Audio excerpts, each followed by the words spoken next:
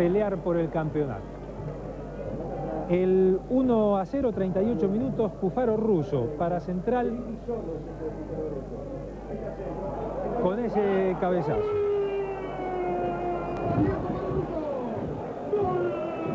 De esta manera Rosario Central queda con 23 puntos en la tabla de posiciones.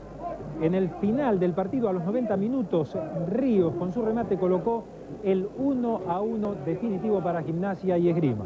La próxima fecha, San Lorenzo News, River Vélez.